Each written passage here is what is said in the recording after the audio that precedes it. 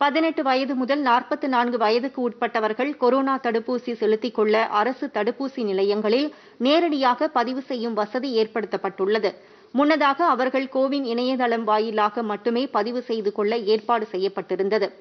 இணையதளம் வாயிலாக முன்பதிவு செய்யப்பட்ட முகாம்களின் இறுதியில் முன்பதிவு செய்த பயனாளிகள் தடுப்பூசி மையங்களுக்கு வராத பட்சத்தில் அவர்களுக்கான தடுப்பூசி வீணாவதை தடுக்க நேரடியாக மையங்களில் பதிவு செய்து தடுப்பூசி செலுத்திக் கொள்ளலாம் என்று அறிவிக்கப்பட்டுள்ளது. எனினும் இந்த வசதி அரசு கொரோனா தடுப்பூசி மையங்களில் மட்டுமே அளிக்கப்படும். தனியார் மையங்களில் அளிக்கப்படாது என்றும் தெரிவிக்கப்பட்டுள்ளது.